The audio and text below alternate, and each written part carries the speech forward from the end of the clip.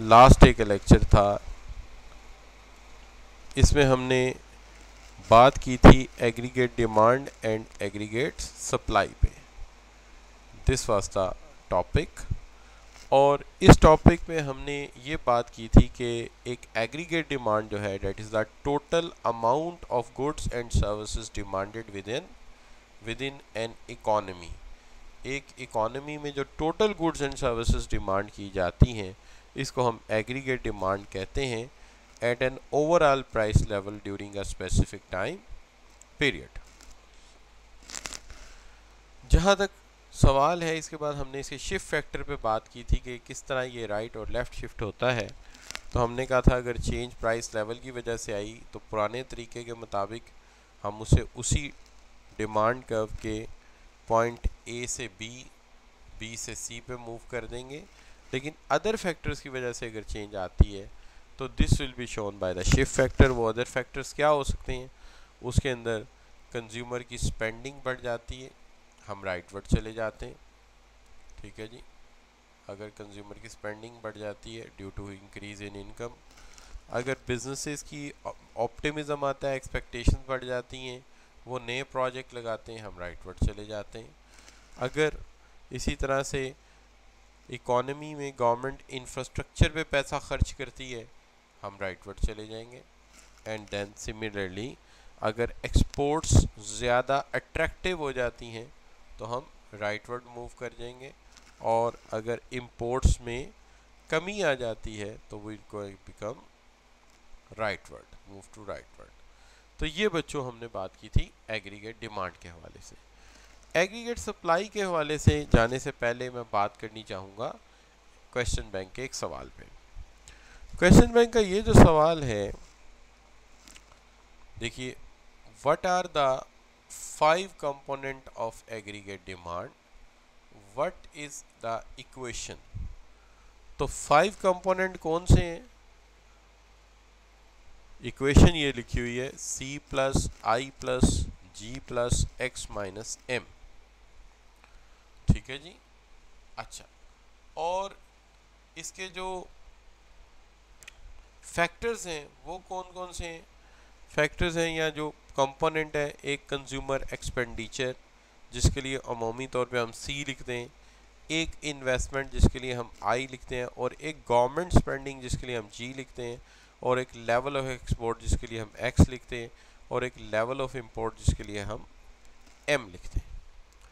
So these are the factor which called C plus I plus G plus X minus M and this is what we called the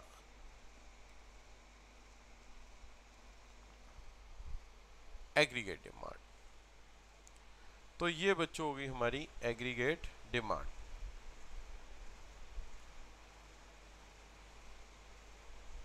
यहाँ तक कोई चीज़ मुश्किल है तो बता दीजिए।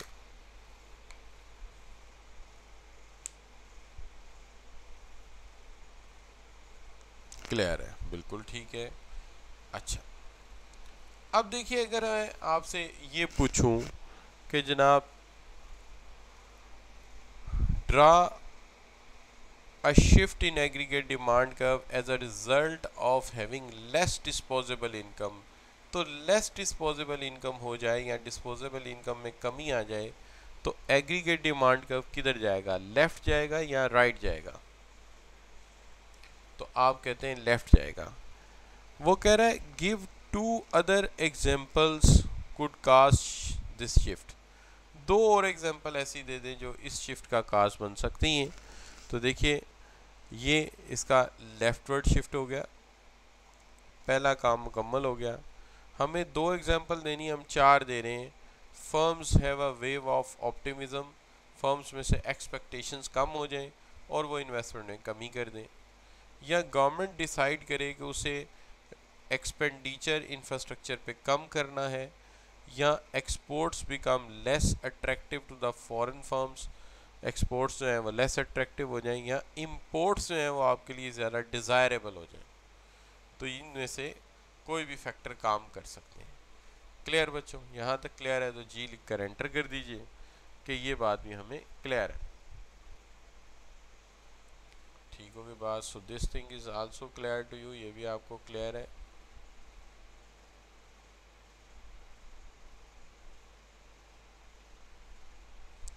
चलिए तो अब बात कर लेते हैं हम इस चीज़ की कि जनाब जो है आपके साथ डिस्कस कर लेते हैं एग्रीगेट सप्लाई को।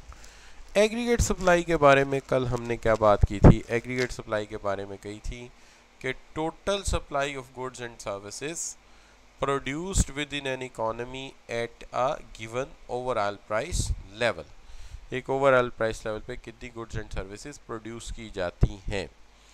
This is called aggregate supply लेकिन इसके ऊपर एक बात हुई थी कि इसके साथ लगा हुआ S R A S short run aggregate supply तो आप में से एक बच्चे ने गैस कर लिया था कि जहाँ शॉर्ट रन एग्रीगेट सप्लाई कब है तो यह यकीनन एक आध एग्रीगेट सप्लाई कव और है और वो क्या होगी वो? लॉन्ग रन एग्रीगेट सप्लाई कव होगी। अब इसकी शक्ल कैसी थी? इसकी शक्ल जो है बिल्कुल रवायती एग्रीगेट सप्लाई जैसी सप्लाई जैसी, जिसके अंदर हमने अगर प्राइस लेवल बढ़ जाए, अगर प्राइस लेवल में इजाफा हो जाए तो हम एग्रीगेट सप्लाई बढ़ जाएगी प्राइस लेवल में कमी आ जाए तो एग्रीगेट सप्लाई कम हो जाएगी। हाल बता चुके हैं डायग्राम मैंने बुक से लिया है तो रियल आउटपुट ये कहा, उसने रियल जीडीपी लिखा हुआ है, कोई बात नहीं है, एक ही बात है। और प्राइस लेवल को उसने क्लियर कट एक वर्ड और ऐड किया हुआ जर्नल प्राइस लेवल वही जर्नल प्राइस इंडेक्स से। तो general price level price level ही काफ़ी है, इतना काफ़ी है टाइम थोड़ा होता है लिखने में इंडिकेशन के लिए। तो अगर प्राइस लेवल बढ़ता है तो हम बी से सी पे चले जाते हैं, और अगर प्राइस लेवल कम होता है तो हम बी से ए पे आ जाते हैं। हाल बताइए, हमारी आदत ये है कि इंक्रीज़ हो तो हम वाई वन से वाई टू करते हैं, यानी एक से दो, और कमी हो तो हम वाई नॉट कर देते हैं ताकि वन से ज़ीरो याद रहे कि ज़ीरो है तो लेफ़्ट वर्ड गए हैं टू है तो राइट वर्ड गए ये ज़्यादा ज़रा मुझे अच्छा लगता है कि एक सिस्टम फॉलो कर लिया जाए।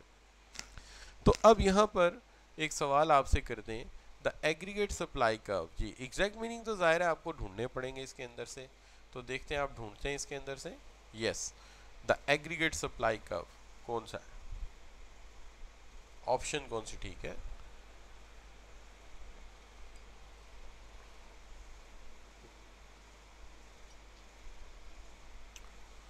शाबाश।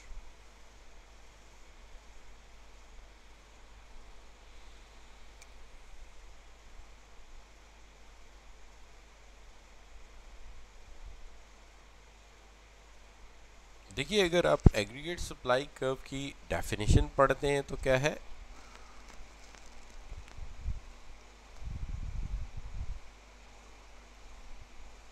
पढ़ते हैं तो वो क्या है? वो है total supply of goods and services total क्या होता है? टोटल होता है जब हम किसी चीज़ का मजमुआ निकाल लेते हैं। सम अप कर रहे थे उसे समेशन निकाल लेते हैं उसका। इस सेंस में देखिए, यहाँ पे कोई आपको ऑप्शन मिलता है तो ये देखिए, वो कह तो रहा है is the sum of individual supply curves in the economy पूरी इकोनॉमी की जितनी भी डिमांड है तो हम यही तो शुरू से कह रहे हैं। Total total goods and services ठीक हो गया कि नहीं? टोटल गुड्स एंड सर्विसेज़ तो ये बच्चों सम से मुराद टोटल और सम एक ही चीज़ होती है, आप वर्ड बदलेगा तो आप कॉन्सेप्ट बदल देंगे। अच्छा चले, ठीक हो गई बात, ये भी अच्छा है कि थोड़ा सा आइडिया दे दिया जाए इस तरह के एमसीक्यूज का। चलिए जी, आगे बढ़ shift in aggregate supply curve इसके ऊपर भी कल बात हुई थी हमारी कि shift in aggregate supply curve जो है, वो कब होगा? देखिए, हमने कहा था अगर तो प्राइस लेवल ही चेंज लाता है तो इसी के एक पॉइंट से दूसरे पॉइंट पे चले जाएँगे। लेकिन वर्टिकल एक्सिस पे लिखा हुआ वेरिएबल चेंज नहीं ला रहा अदर वेरिएबल चेंज ला रहे हैं तो फिर क्या करेंगे? शाबाश। फिर हम इसको जो है वो शिफ्ट कर देंगे। तो शिफ्ट फैक्टर कौन से हैं यहाँ पे? सबसे पहले change in productivity of of both labour factor productivity and labour दोनों में फ़र्क आ जाए, यानी इजाफा हो जाए। तो मैं एक साइड कवर करता हूँ पहले, कि अगर लेबर की प्रोडक्टिविटी बढ़ जाती है तो लेबर की प्रोडक्टिविटी बढ़ने से एग्रीगेट सप्लाई कर्व किधर जाएगा? यानी एक मजदूर पहले दो, अगर पेयर ऑफ़ शूज़ बना रहा था, वो तीन बना रहा है तो प्रोडक्टिविटी का मतलब तो यही है कि पहले से ज़्यादा जूते बना रहा है, पहले से ज़्यादा प्रोडक्शन कर रहा है तो ये राइट वर्ड चला जाएगा। दूसरा point change in size and quality of capital stock capital stock यानी मशीनों में इजाफा हो जाता है। टूल ज़्यादा आ जाते हैं। किस तरफ़ जाऊँगा? राइट वर्ड चला जाऊँगा। क्यों? चूँकि टूल्स और इक्विपमेंट बढ़ गए हैं। जब मशीनें ज़्यादा, प्रोडक्शन भी ज़्यादा होगी। इसी तरह कास्ट ऑफ़ प्रोडक्शन जो है, फ़र्ज़ कर लीजिए, अब मैं जानबूझ के रिवर्स करता हूँ कि कास्ट ऑफ़ प्रोडक्शन बढ़ गई है। अच्छा जी, कास्ट ऑफ़ प्रोडक्शन बढ़ जाएगी तो फिर क्या होगा? प्रॉफिट आपका कम हो जाएगा। प्रॉफिट्स कम होंगे तो किधर जाएगा एग्रीगेट सप्लाई का? शाबाश। इट्स मूव्स टू लेफ़्ट तो मैं आपसे ये कहूँगा बेटा कि एक मूवमेंट बताएँ, दूसरी एग्जामिनर को वैसे ही पता होगी। तो वाइस वर्सा को डिस्कस करने की हमें ज़रूरत नहीं पड़ेगी। अच्छा चेंज इन टैक्स अगर टैक्सेस बढ़ जाते हैं तो फिर क्या होगा प्रॉफिट शाबाश। प्रॉफिट कम हो जाएँगे और हम लेफ़्ट वर्ड चले जाएँगे। और अगर सब्सिडीज़ मिल जाए, शाबाश subsidies are provided to the producers ठीक है जी। तो सब्सिडीज़ मिलती हैं तो फिर प्रॉफिट बढ़ेंगे। जारी बात है सब्सिडी का मतलब मटेरियल में गवर्नमेंट पैसे डाल के सस्ता दे रही है। तो मटेरियल सस्ता मिलेगा, मुनाफा बढ़ेगा, ये राइट वर्ड चला जाएगा। तो ये बच्चों मैंने डेलिबरेटली सारे राइट नहीं किए कुछ राइट, कुछ लेफ़्ट करके एक ही तरह की मूवमेंट मूवमेंट एक ही डिस्कस की है, ठीक है? एक तरह की नहीं की। तो ये हो गया बच्चों शिफ्ट इन द आपका जो है, इसी तरह एक और कर लेते हैं ऑप्टिमिज्म एक्सपेक्टेशंस अगर एक्सपेक्टेशंस पॉजिटिव हो जाती हैं तो तब भी जो है प्रोडक्शन ज़्यादा होगी। और प्रोडक्शन ज़्यादा होगी तो हम किधर जाएँगे? विल मूव टूवर्ड्स राइट तो फिर भी हम राइट वर्ड मूव करेंगे गुड हो गया जी। अच्छा अब इसके ऊपर भी क्वेश्चन बैंक का एक सवाल ले लेते हैं। ठीक है जी। अच्छा। क्वेश्चन बैंक से मोमी तौर पे रिकमेंडेड ये है हमारी तरफ़ से कि अगर कोई बच्चा क्वेश्चन बैंक आई कैप का देखे सवाल तो उसमें सवाल देखे सोल्यूशन ना देखे। इसलिए कि वो क्वेश्चन बैंक बना हुआ है 2013 से पहले का। तो उसके अंदर जो सवाल हैं वो उस पेपर के मुताबिक हैं जो पुराना पेपर है। और जवाब भी उस पेपर के मुताबिक है, चूँकि उस पेपर में मैक्रो फिक्स नहीं था दस नंबर का सवाल। तो वो सवालों में जवाब प्रोलॉन्ग किए हुए हैं डेलिबरेटली चूँकि वो हाँ मैक्रो इकनॉमिक्स का भी एक एक सवाल जो है वो सोलह सोलह अठारह अठारह नंबर का दिया हुआ है। इसलिए फिर आंसर उसके मुताबिक है। तो जब आप वो आंसर देखेंगे तो आप काफ़ी कन्फ्यूज़ होंगे। तो अगर आपने सोल्यूशन कभी भी देखना है तो पास पेपर के जो सवाल हैं, उनका सोल्यूशन एग्जामिनर का देख लें, वो ठीक होगा। लेकिन क्वेश्चन बैंक का सोल्यूशन ठीक नहीं होगा, सवाल ठीक होंगे। सवाल देख लें। हाँ अलबत् उसके अंदर एक चीज़ देखिएगा कि वहाँ स्कोर से आपने नहीं घबराना। एक छोटी सी डेफिनेशन का स्कोर दस नंबर लिखा होगा, आठ नंबर तो वो उस वक्त के हिसाब से शायद ठीक था। आज तो ज़ाहिर आज के पेपर से वो ममासलत ही नहीं रखती। क्योंकि यहाँ तो हर मोमेंट अपडेट हो रही है हर चीज़। और वो दस साल, बीस, पंद्रह साल पुराना क्वेश्चन बैंक है तो हम उसमें से यही कर सकते हैं कि जो सवाल मैं निकाल रहा हूँ, जो मुझे सही सवाल लगता है, वो मैं खुद ही निकाल के आपको दे रहा हूँ। तो जो ये सवाल है, ये भी कुछ काम का सवाल है 6.5 है। Concern with the concept of short run aggregate supply draw a shift in supply curve as a result of a decrease in the cost of labour throughout the an economy एक ऐसा एग्रीगेट सप्लाई कर्व बना के दिखाओ, जिसमें cost of labour कम हो रही हो। अब कॉस्ट ऑफ़ लेबर कम हो रही हो और उससे शिफ्ट ज़ाहिर करके दिखाओ। तो कॉस्ट ऑफ़ लेबर कम होगी तो शिफ्ट किस तरफ़ करोगे? कॉस्ट ऑफ़ लेबर कम होगी तो डेफिनेटली आपका जो शिफ्ट है वो किस तरफ़ होगा? डेट इज़ टू वर्ड्स बिल्कुल सही that is towards. Left होगा राइट होगा। कास्ट ऑफ़ प्रोडक्शन डिक्रीज हुई है। कास्ट ऑफ़ प्रोडक्शन डिक्रीज़ हुई है। तो कास्ट ऑफ़ प्रोडक्शन अगर डिक्रीज़ हो जाए real output price level vertical axis price level तो कास्ट के कम होने से हमारा प्रॉफिट बढ़ जाता है। प्रॉफिट बढ़ेगा तो हमारा एग्रीगेट सप्लाई कर्व जो है वो अगर ए एस वन है तो राइट वर्ड शिफ्ट हो गए ए एस टू हो जाएगा। ठीक हो गई जी बात? उसके अलावा ये हमसे मांग रहा है कि आप ऐसा करो कि मुझे सिक्स रीजंस लिख के दिखाओ of backward shift of aggregates sorry short run aggregate supply तो शॉर्ट रन एग्रीगेट सप्लाई की बैकवर्ड शिफ्ट की छह रीजंस लिख के दिखाओ। इसके थ्री मार्क्स हैं इस लिस्ट को बनाने के। ठीक है? इसके थ्री मार्क्स हैं। ठीक है? तीन मार्क्स हैं और छः ऑप्शन है। इसका मतलब है छः हेडिंग्स के तीन मार्क्स तो हर एक का आधा नंबर तो आधा नंबर तो फिर पक्का हुआ ना जी? तो आधा नंबर पक्का है। तो देखते हैं कैसे लगाते हैं हम। सबसे पहले हम कहते हैं कि प्रोडक्टिविटी की बात करते हैं। प्रोडक्टिविटी ऑफ़ लेबर बताइए प्रोडक्टिविटी ऑफ़ लेबर इंक्रीज होनी चाहिए या डिक्रीज होनी चाहिए लेफ़्ट वर्ड शिफ्ट के लिए। प्रोडक्टिविटी ऑफ़ लेबर कम होनी चाहिए तो ये लेफ़्ट वर्ड शिफ्ट होगा। अगर बढ़ गई तो प्रोडक्शन ज़्यादा हो जाएगी राइट वर्ड चला जाएगा। लेकिन हमें डिक्रीज करनी। दूसरी तरफ़ है size and quality of capital size and quality of capital बताइए, बेहतर होना चाहिए या कम होना चाहिए? तो दिस इज़ आल्सो डिक्रीज्ड अच्छा जी, चलिए।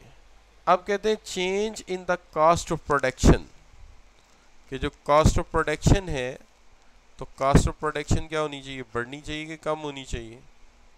लेफ़्ट वर्ड शिफ्ट के लिए। तो कास्ट ऑफ़ प्रोडक्शन जो है वो इंक्रीज होगी तो प्रॉफिट कम होगा। प्रॉफिट कम होगा तो फिर लेफ़्ट वर्ड जाएँगे। अगर प्रॉफिट बढ़ गया, फिर तो प्रोड्यूसर खुश हो जाएगा। वो तो राइट पर चला जाएगा तो कॉस्ट ऑफ़ प्रोडक्शन बढ़नी चाहिए। टैक्सेस का क्या होना चाहिए? बढ़ने चाहिए, कम होने चाहिए? टैक्सेस भी इंक्रीज होंगे तो प्रॉफिट कम होगा और हम लेफ़्ट वर्ड जाएँगे। सब्सिडीज जी सब्सिडीज क्या होनी चाहिए? सब्सिडीज डिक्रीज होनी चाहिए, ताकि हमारा मुनाफा कम हो और हम लेफ़्ट वर्ड जाएँ। और एक्सपेक्टेशंस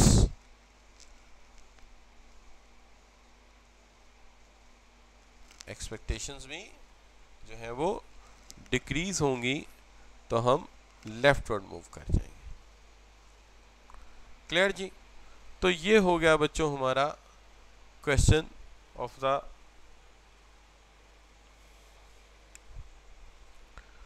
no problem जी? सही हो गया जी? थैंक यू वेरी मच अच्छा जी।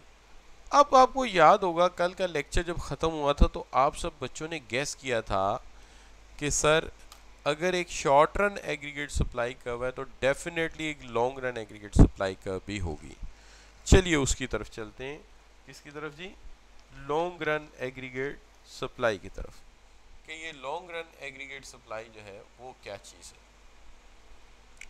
तो जो आपकी लॉन्ग रन एग्रीगेट सप्लाई है, इसको जब हम देखते हैं तो ये हमें बताती है कि इकोनॉमी का टोटल पोटेंशियल क्या है। कहते हैं जी long run aggregate supply curve shows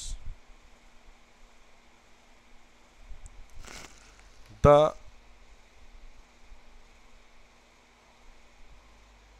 the productive potential of the productive potential of economy at full employment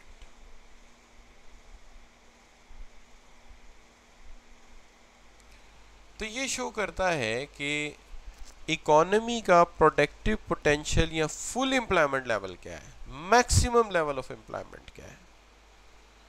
अच्छा कॉन्सेप्ट क्या है?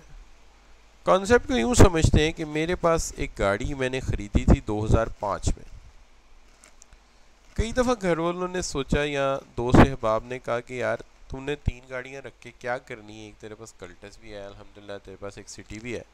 तो तू ये बेच दे। मैं बड़े लोगों ने कहा तो मेरा दिल नहीं किया। ऐसे। यार, इस गाड़ी से ना थोड़ी दिल लगी क्योंकि आपको पता है, ज़िंदगी में पहली गाड़ी जो होती है ना, उससे एक लगाव होता है। हर ज़िंदगी में में हर पहली चीज़ से बड़ा लगाव होता है। पहला घर, पहली गाड़ी, पहली बीवी, नहीं सॉरी तो यूसी क्या है कि हर पहली चीज़ से इंसान का बड़ा लगाव होता है। अच्छा। बहरहाल चलें, छोड़ें। लंबी बात हो जाएगी। हम बात ये कर रहे थे कि इशू ये है कि मैंने उस गाड़ी की मैक्सिमम स्पीड देखी, कि ये मैक्सिमम कितनी है? तो उसके स्पीडोमीटर पर लिखा था कि ये 140 तक जा सकती है। यानी अगर आप इसकी स्पीड को मैक्सिमम पे लेके जाएँ तो ये 140 तक जा सकती वो प्रिंटेड ही था बस। मैंने कहा, नहीं यार ये नहीं मैनुअल किधर इसका? उसका मैनुअल मैंने साथ मिला था, एक रफ से कागज़ पे छपा हुआ था। तो मैंने देखा कि मैक्सिमम स्पीड गया तो उन्होंने कहा, जी, इसकी मैक्सिमम स्पीड जो है ना, इसकी मैक्सिमम कैपेसिटी जो है, वो हंड्रेड किलोमीटर पर आर है।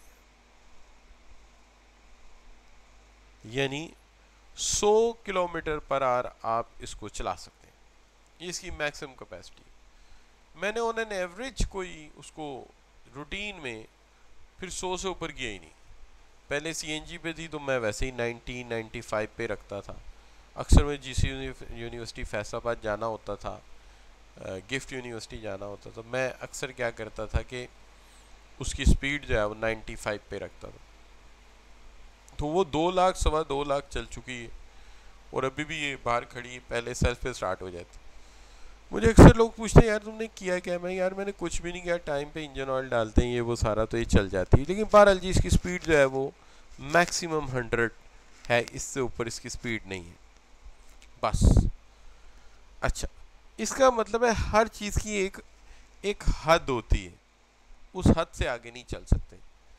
इसी तरह इकोनॉमी की भी एक हद है। उससे आगे वो प्रोडक्शन नहीं दे सकती, रियल आउटपुट नहीं दे सकती। तो इसको हम कहते हैं, क्या शाबाश? इसको हम कहते हैं जी कि ये इसकी जो है मैक्सिमम प्रोडक्टिव पोटेंशियल है। इसका मैक्सिमम प्रोडक्टिव पोटेंशियल है। इकोनॉमी इससे आगे नहीं जा सकती।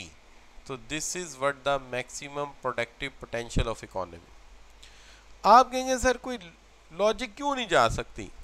भाई बात यह है तुम्हारी इकोनॉमी में 23,000 मेगावाट बिजली की प्रोडक्शन है उसके आगे बिजली ही नहीं है इलेक्ट्रिसिटी ही नहीं है तो आगे कैसे जाओगे? ठीक है ना? उससे आगे तो फिर तुम नहीं जा सकते ना? तो इसका मतलब ये हो गया कि यहाँ पे एक ऐसा कर्व मौजूद है जो aggregate demand and aggregate supply के अलावा है जनरल एग्रीगेट सप्लाई के अलावा है और वो सिर्फ़ इसलिए रखा गया है कि वो इकोनॉमी का जो है वो रियल आउटपुट बता दे, जो हम मैक्सिमम ले सकते हैं ताकि हम उससे आगे फिर ट्राई ना करें या करना है तो उसके लिए भी स्ट्रेटेजी बनाएँ।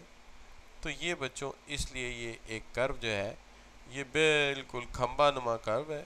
ये इस तरह जो है डायग्राम में आके खड़ा हो जाता है और ये सिर्फ़ ये हमें बता रहा होता है कि लो बच्चों, इससे पीछे पीछे खेलना है। इसके आगे आपने नहीं जाना। इसको हम कहते हैं लॉन्ग रन एग्रीगेट सप्लाई कर। और यहाँ पे वाई एफ़ जो होता है वो फुल एम्प्लॉयमेंट के लिए है कि ये इस इकॉनमी की फुल एम्प्लॉयमेंट है, यानी मैक्सिमम नंबर ऑफ़ जॉब्स इससे आगे नहीं जाएँगी। इसके आगे बिजली ख़त्म फर्टाइल लैंड ख़त्म, यानी सारी ज़मीनें ज़ेर काश्त आ गई, सारी बिजली इस्तेमाल हो गई। ये इसकी कैपेसिटी है। तो देयर जो long run aggregate supply curve है it is independent, it is independent of price level price level बढ़ा दो, कम कर दो, इसको कोई परवाह नहीं है। ये यही रहेगा। ये कहेगा, जी, इससे आगे आपकी कैपेसिटी नहीं है। हाँ शॉर्ट रन एग्रीगेट सप्लाई का बड़े शौक से आप बनाएँ। ठीक है जी? शॉर्ट रन एग्रीगेट सप्लाई का आप बड़े शौक से बनाएँ। उसके ऊपर आप ये भी मान लें कि अगर प्राइस लेवल बढ़ेगा तो एग्रीगेट सप्लाई बढ़ जाएगी। और अगर जो है आपका प्राइस लेवल कम होगा तो आपकी जनाब जो है वो रियल आउटपुट कम हो जाएगी। ये बात मान ली जाएगी। कहेंगे हाँ जी, आप ठीक कह रहे हैं कि प्राइस लेवल बढ़ेगा तो आपकी एग्रीगेट सप्लाई जो है वो बढ़ जाएगी। एक मिनट यार, इसको केबल लगाने लग रहा है कि बैटरी कम हो गई है इसकी तो बैटरी ख़त्म होने से पहले लगा लेनी तो फिर रबता ही कट जाएगा। एक मिनट जी, ये लग गई जी। ये ये देखिए, एक दफ़ा मेरी तस्वीर हुई ना, ऐसे, ये चार्जर लगा इसको। अच्छा तो long run aggregate supply independent of price level और क्या बात कर रहा था कि ये ठीक है कि प्राइस लेवल बढ़ेगा तो शॉर्ट रन में आपको एग्रीगेट सप्लाई बढ़ती हुई नज़र आएगी। लेकिन उससे आगे तो ये भी नहीं जा सकती, क्योंकि वो क्या है, वो हद है, वो लिमिट है, उससे आगे आपने नहीं जाना। That is the maximum limit you can not move above that उससे आगे प्रोडक्शन जानी नहीं है। तो आखिरी मूव कर लीजिए पी थ्री का फुल एम्प्लॉयमेंट का। डैट्स क्लियर जी? अच्छा। अब यहाँ पर जो है वो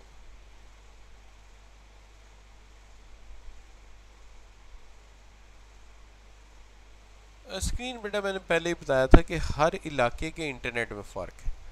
जहाँ ज़रा सा इंटरनेट किसी का ख़राब हुआ, हल्की सी तस्वीर ब्लर हो जाएगी, थोड़ी देर बाद ठीक हो जाएगी, चंद सेकंड बाद ठीक हो जाएगी, ठीक है?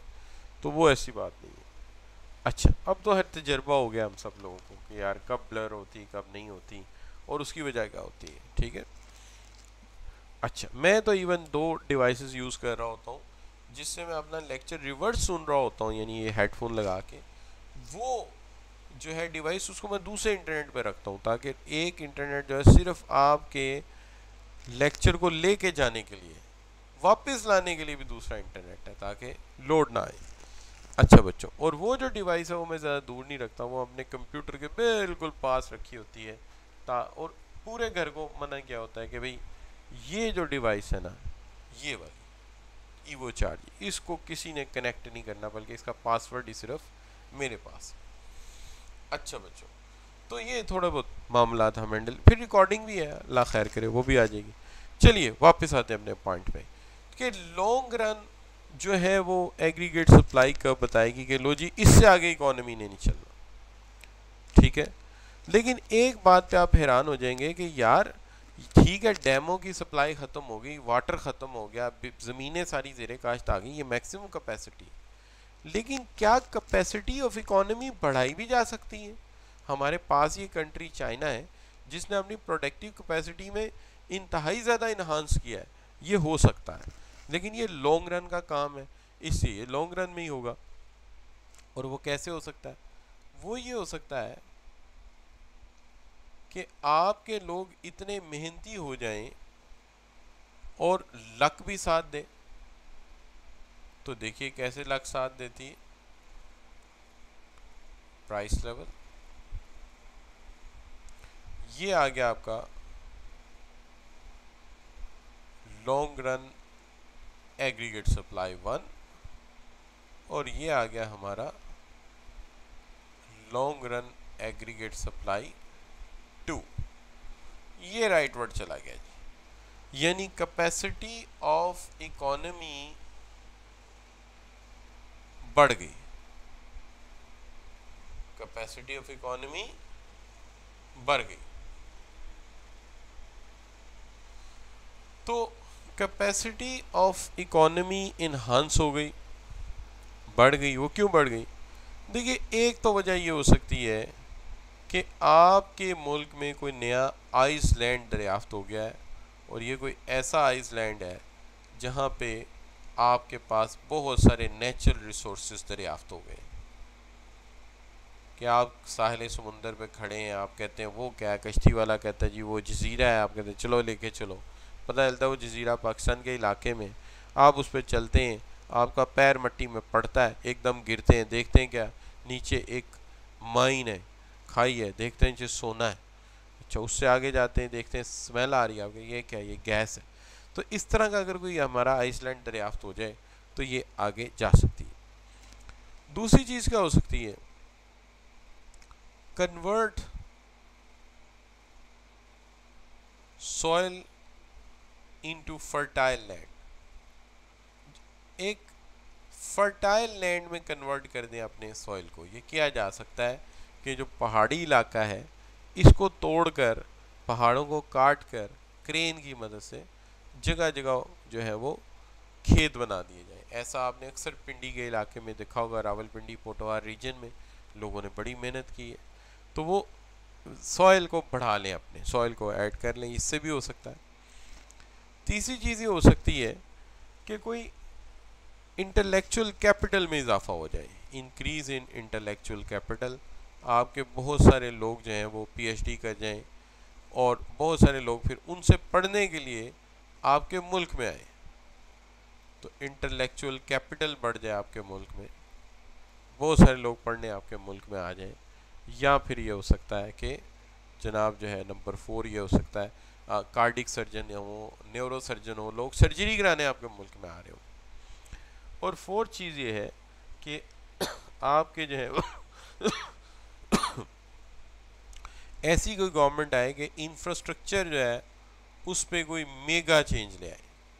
इंफ्रास्ट्रक्चर में कोई मेगा चेंज ले आए, यानी बहुत सारे डैम्स बनाए जाएँ ताकि बिजली बढ़ जाए, बहुत बड़े जो है वो रोड एक्सटेंशन हो।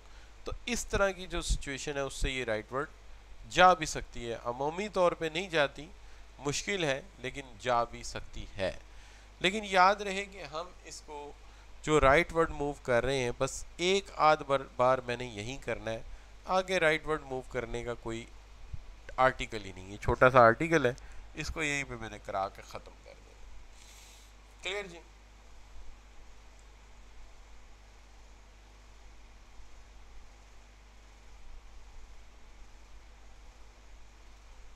आपस में बात अगर कम कम करें, मेरी बात ज़रा ज़्यादा सुने तो आपको बात जो है वो ज़्यादा समझ आएगी।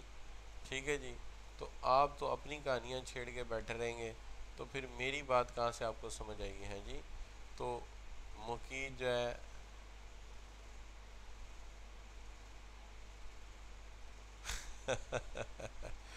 अच्छा यार, अब लेक्चर आप कहते हो कि लेक्चर बिल्कुल मोनोटोनस है और मोनोटोनस लेक्चर हो, कोई बात ना हो डायग्राम के अलावा। तो ऐसे भी नहीं होता, है भाई? तो थोड़ी सी बातचीत इधर उधर की हो जाती है, लेकिन जज्बात पे काबू रखना भी बड़ा ज़रूरी अच्छा बच्चों, अब बात आ गई कि ये है long run aggregate supply curve अब long run aggregate supply curve को भी मैंने जिस सेंस में पढ़ाया है, इस चीज़ के पेश नज़र पढ़ाया है कि सवालात इसका कैसे बन सकते हैं। तो हमारा क्वेश्चन बैंक बताता है कि इसके सवाल यूँ बन सकते हैं कि draw an aggregate supply curve long run aggregate supply curve तो ये ड्रा हो गई। इस तरह से ड्रा कर दी जाए। हैं जी? तो ये आप ड्रा कर सकते हैं। अच्छा list factor cause shift in long run aggregate supply curve वो फैक्टर लिस्ट कर दो जो long run aggregate supply curve में शिफ्ट का बाइस बनते हैं तो वो मैंने आपके सामने ये चार फैक्टर बना दिए। ज़्यादा भी हो सकते थे, लेकिन चार एक काफ़ी हैं, इसलिए कि हमें अंदाज़ा है कि कोई दो को नंबर का सवाल ऐसा होता है, ज़्यादा नंबर का आता नहीं शिफ्ट शिफ्ट फैक्टर का। ठीक है जी? तो ये बच्चों हमने बात कर ली किसके ऊपर? कि सवाल कैसे आएगा। अब यहाँ तक समझ आया है जी पॉइंट फाइव फॉर ईच जैसे वेरी राइट जी पॉइंट फाइव फॉर ईच तो अब यहाँ तक समझ आया तो आप जी लिखकर एंटर कर दीजिए प्लीज़ अच्छा। अब जो मैं बात करने जा रहा हूँ वो बहुत इंपॉर्टेंट है और वो बिल्कुल पेपर का सवाल है और वो आ सकता है, इस दफ़ा आ सकता है वो सवाल। चूँकि अभी एक दो अटैम्प्ट से ये सवाल नहीं आया और एग्ज़ामिनर का फेवरेट क्वेश्चन है। ये सवाल ये है कि equilibrium of aggregate demand and aggregate supply under new classical assumptions या न्यू क्लासिकल इकोनॉमिस्ट के करीब जो इक्विलिब्रियम है वो बना के अब न्यू क्लासिकल का इक्विलिब्रियम एक तो हमने पढ़ा था चैप्टर नंबर टू में, जहाँ डिमांड एंड सप्लाई को लिया था। और एक न्यू क्लासिकल का इक्विलिब्रियम अब हम पढ़ने जा रहे हैं, जहाँ पे हम जो है वो इस तरफ़ रखेंगे प्राइस लेवल को।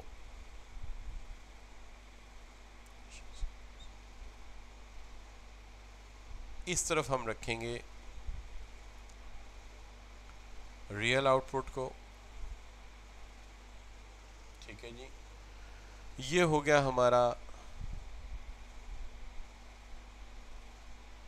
long run aggregate supply curve full capacity of economy ठीक है जी, इसको एफ़ लगाना है यहाँ पे, ये फुल कैपेसिटी है हमारी। ये हो गया जी हमारा एग्रीगेट डिमांड कर्व ये हो गया हमारा short run aggregate supply curve ठीक हो गई जी बात। थोड़ा सा बेहतर कर देते हैं इसे। यहाँ से आके थोड़ा सा ये डल हो गया था। डल नहीं होना चाहिए। अब ठीक है, अब थोड़ा स्मूथ है। तो यहाँ पर सबसे पहला पॉइंट तो ये होना चाहिए कि ये लिखना चाहिए हमें क्या दो स्टैरिक दो स्टैरिक क्या बताएँगे, शाबाश? एक्स एक्सिस और वाई एक्सिस पे क्या? है और यहाँ पे और कितने लेबल मुझे चाहिए Chabahar how many label I required over here तीन लेबल और चाहिए हैं। कि एडी हमारा एग्रीगेट डिमांड कर्व है। आपने अल्फाज में लिखना है। एस आर ए एस हमारा short run aggregate supply curve है और एल आर ए एस जो है हमारा long run aggregate supply curve है। ये चारों आपने लिखने हैं, तीनों आपने लिखने हैं और बताना है कि ये long run aggregate supply curve अब जो नेक्स्ट पॉइंट होगा, वो क्या होगा? शाबाश को बच्चा बताएगा, जब दो डिफरेंट कर्व होते हैं तो जर्नली वो इक्विलिब्रियम की बात हो रही होती है। एक ही तरह के दो हो तो शिफ्ट और दो मुख्तलिफ़ तरह के कर्व एक डायग्राम में हो तो वो इक्विलिब्रियम तो सबसे पहले हमें इक्विलिब्रियम पॉइंट बनाना है। तो इक्विलिब्रियम पॉइंट ई है, जहाँ पे प्राइस लेवल जो है वो पी वन कर देते हैं। और रियल आउटपुट जो है उसको हम वाई वन कर देते हैं। रियल आउटपुट को हम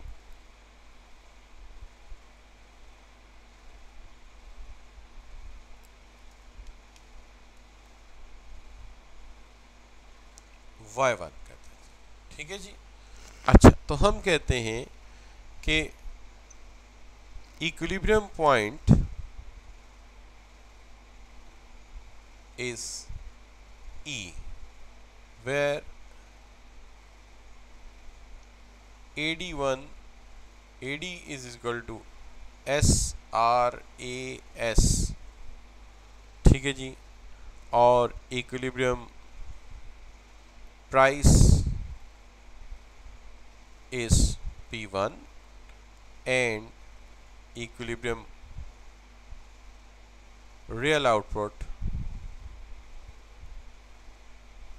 is Y1 तो यहाँ पे इक्विलिब्रियम पॉइंट ई है, वहाँ पे एग्रीगेट डिमांड इक्वल है शॉर्ट रन एग्रीगेट सप्लाई के इक्विलिब्रियम प्राइस पी वन है और इक्विलिब्रियम रियल आउटपुट जो है वो आपकी डेट इज़ वाई वन अब जहाँ तक सवाल है कि हमने ये तो शो कर दिया। अब इसके बाद न्यू क्लासिकल इक्विलिब्रियम में मुझे और क्या शो करना चाहिए? बच्चे मुझे गाइड करेंगे। शाबाश। What I should show next please increase in price कर देते हैं और एक डिग्रीज इन प्राइस कर देते हैं। लेकिन इसके लिए एक अच्छा सा लफ्ज़ ढूंढ कर लाइए, जो चैप्टर टू के रेफरेंस से हो। ठीक है जी? बिल्कुल सही हो गया कि एक हम कर देते हैं पॉइंट इससे ऊपर, जहाँ प्राइस लेवल ज़्यादा हो गया है पी टू तो हम कहते हैं सपोज़ प्राइस जो है वो इंक्रीज है हाई है, और वो पी टू है तो यहाँ पे एक गैप बन जाता है। ये गैप जो है, एक ऐसा गैप है, जहाँ पर एग्रीगेट डिमांड ज़्यादा है नो सॉरी एग्रीगेट सप्लाई ज़्यादा है एग्रीगेट डिमांड्स तो aggregate supply is greater than aggregate demand जिसका मतलब ये है कि यहाँ पे बहुत सारी गुड्स एंड सर्विसेज़ का स्टॉक अनसोल्ड पड़ा हुआ है। तो इसका मतलब यही है कि यहाँ पर इंडिकेट ये हो रहा है कि firms will persistent find stock remain unsold stock of goods and services remain unsold ठीक है जी? लिहाजा उन्हें अपने स्टॉक को कमी करना पड़ेगी, उसको रिड्यूस करना पड़ेगा, और अगर स्टॉक रिड्यूस करना है तो उसके लिए प्राइस को कम करना पड़ेगा। ठीक होगी जी बात?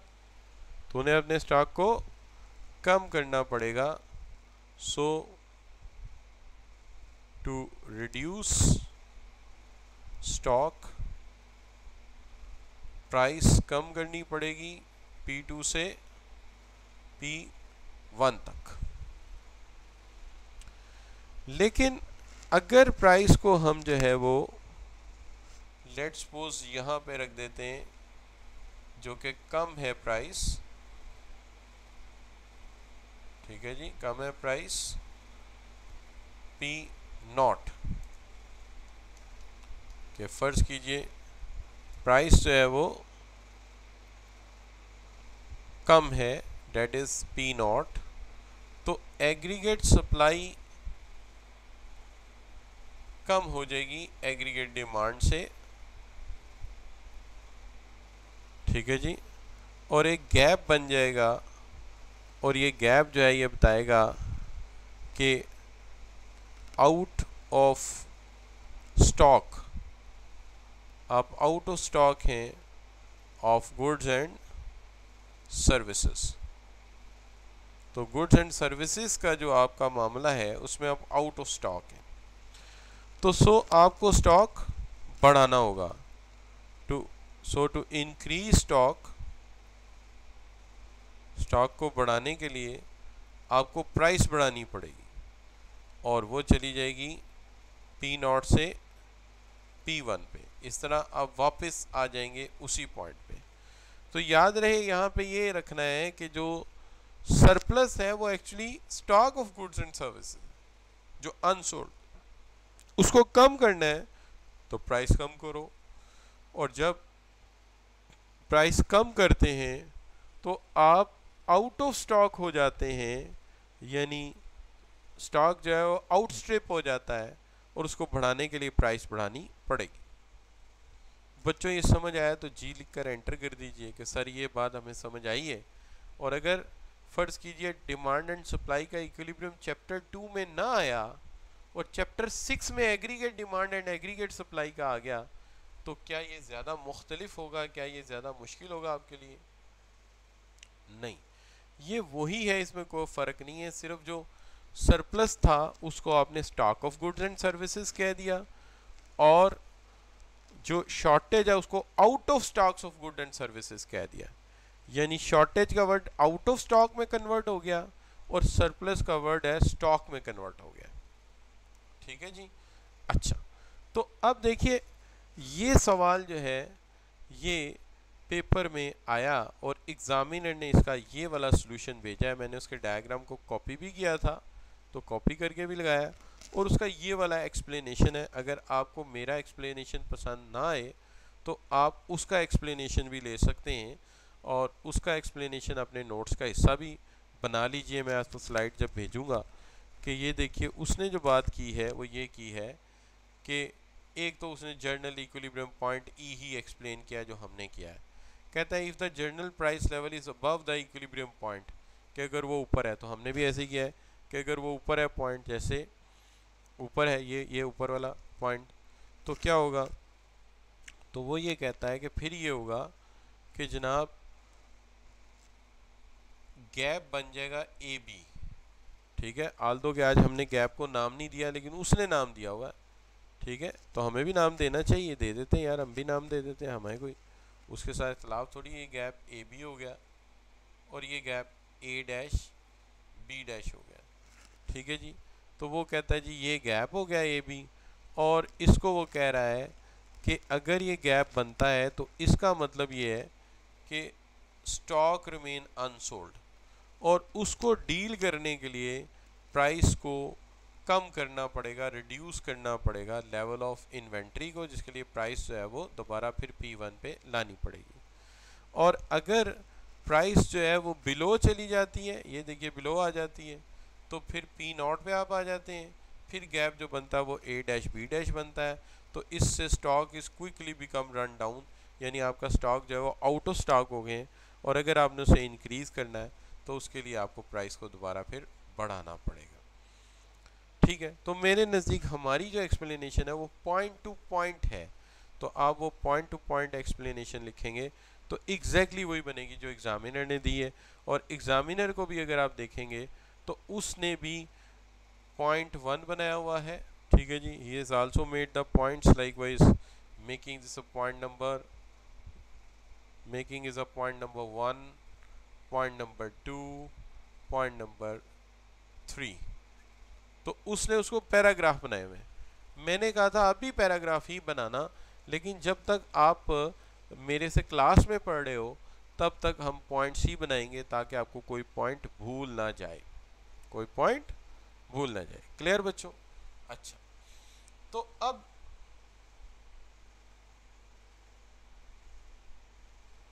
जी, वो ये है कि वो पॉइंट हमने कंपोज ऑफ़ नहीं लिया होगा। जहाँ उसने लेबल लगाए हैं, वो वाला नुक्ता हमने नहीं लिया होगा जब हमने कॉपी किया होगा उसके सोल्यूशन को। ठीक है? अच्छा तो ये सवाल कौन सा था? ये सवाल था, ये वाला सवाल था एक्चुअली कि जो पहले एक दफ़ा आया हुआ है और ये है explain with the help of explain with the help of diagram the equilibrium of aggregate demand and aggregate supply under new classical approach और देखिए स्कोर कितने ज़्यादा हैं? सेवन स्कोर्स हैं। इसलिए सेवन स्कोर का डायग्राम है तो एक्सप्लेनेशन तो देनी पड़ेगी। क्या ख्याल है बच्चों? ये देखिए ऑटम सिक्सटीन का सवाल है। सेवन मार्क्स की बात है तो एक्सप्लेनेशन तो हमें अच्छी देनी पड़ेगी। यहाँ तक समझ आया तो जी लिखकर एंटर कर।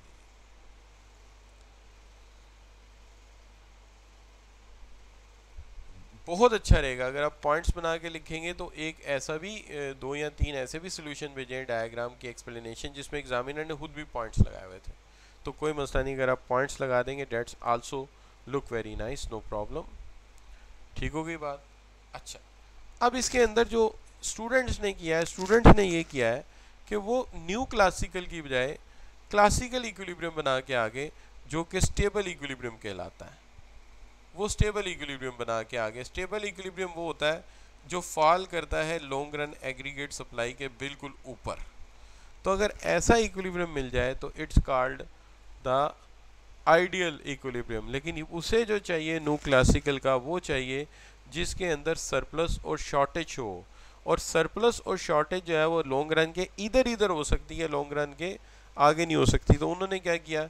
एक नो क्लासिकल क्लासिकल इक्विलिब्रियम पकड़ा और उसको पकड़ के उसके सामने रख दिया कि ये आपका इक्विलिब्रियम है, ये इक्विलिब्रियम प्राइस है, ये इक्विलिब्रियम आउटपुट है रियल आउटपुट है नेचुरल रेट ऑफ़ आउटपुट भी इसे कहते हैं फुल एम्प्लॉयमेंट जिसे आप कहते हैं, और ये बना के आ गए और इसकी एक्सप्लेनेशन दो या तीन लाइन की कर दी। तो ये ना काफ़ी थी, फिर ज़ाहिर है उसने तीन नंबर दिए, किसी को चार नंबर दिए, या ज़्यादा ज़्यादा मैक्सिमम तीन दिए होंगे तो इस तरह काफ़ी नंबर लोगों के कट ऑफ़ हो गए। तो बच्चों, यहाँ पे आज का लेक्चर वाइंड अप करते हैं। अगर देखा जाए तो आज का लेक्चर जो है, उसी डगर पे चल रहा है, जिस डगर पे डिमांड एंड सप्लाई चली थी। पहले डिमांड फिर सप्लाई फिर इक्विलिब्रियम और आज उसी डगर पे हम चल रहे हैं। और यकीनी तौर पे आप समझ गए होंगे कि आगे हम इनके इक्विलिब्रियम के अंदर शिफ्ट को इन्वॉल्व करना चाहेंगे। लेकिन उससे पहले मैं चाहूँगा कि मैं आप लोगों को तीन चीज़ें पढ़ाऊँ। उसमें एक इफ़ेक्टिव डिमांड क्या होती है दूसरा इन्फ्लेशनरी डिफ्लेशनरी गैप क्या होता है? और आखिर में shift of aggregate demand and supply का इफ़ेक्ट ऑन इक्विलिब्रियम चलिए तो आज के लिए इसको यहीं तक रखते हैं और आपसे जाते हुए एक दफ़ा पूछ लेते हैं कि जनाब, आज के लेक्चर की रैंकिंग को अगर किया जाए वन से लेके हंड्रेड परसेंट तक तो आपकी अंडरस्टैंडिंग जो है, वो कहाँ फॉल करती है? तो थाउज़ेंड ऑफ़ पर्सन कह रहे Hamza and similarly all students are asking के